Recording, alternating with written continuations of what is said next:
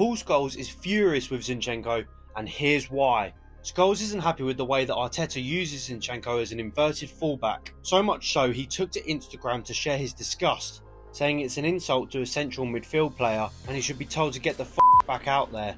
Sounds harsh. Phil Neville thought so too and hit back at his former teammate saying us fullbacks can play anywhere pal.